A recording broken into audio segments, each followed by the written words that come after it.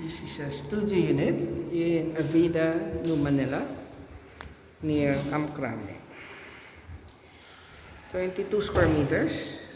It's newly painted.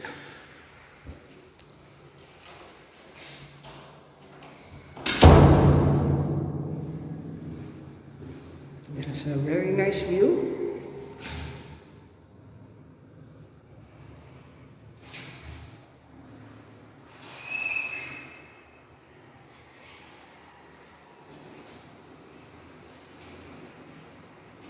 And this is the CR.